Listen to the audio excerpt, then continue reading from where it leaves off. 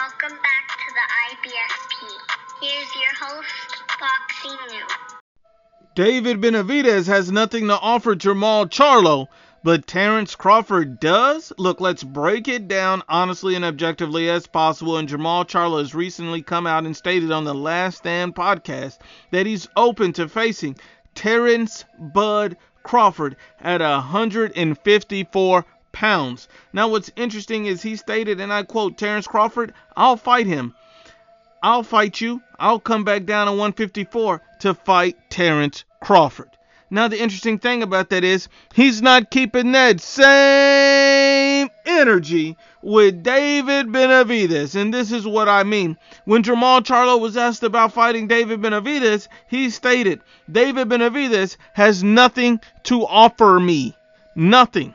Nothing. He went on to state that he ain't no Mexican monster. Benavidez ain't got nothing to offer. Now, the interesting thing about this is Terence Crawford, a welterweight, moving up to 154 pounds, who's not a world champion, literally has nothing to offer you at 154 pounds.